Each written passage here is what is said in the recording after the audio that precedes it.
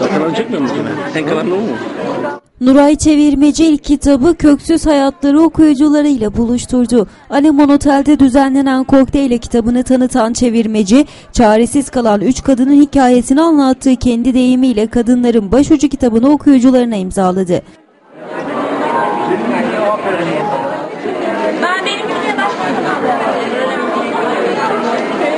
Tanıtıma Manisa Valisi Abdurrahman Savaş'ın eşi Hafize Savaş'la birlikte MHP Manisa Milletvekili Erkan Akçay, CHP Şehzadeler Belediye Başkan adayı Semih Balaban, Türk Kadınlar Konseyi Manisa Şube Başkanı Mübeccel Kavkaslı, CHP İl Kadın Kolları Başkanı Fadime Özçakır, AK Parti Şehzadeler Kadın Kolları Başkanı Asiye Zurnacı, Yunus Emre Kadın Kolları Başkanı Belma Aça, Kağıt Rölyef sanatçısı Halise Yumrukaya, sivil toplum kuruluşları temsilcileri ve çok sayıda okur katıldı.